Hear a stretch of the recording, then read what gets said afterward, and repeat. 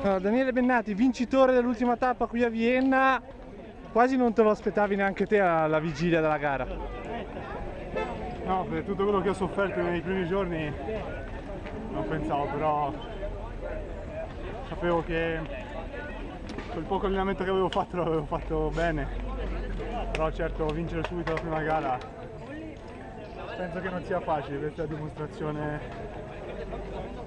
che comunque sono un professionista serio. La squadra ha fatto un grande lavoro oggi. Sì, veramente, gli ultimi tre uomini, Vigano e Wagner sono stati eccezionali. Questo sarà anche il treno che, eh, per la quale affronteremo la Vuelta e quindi sono molto fiducioso.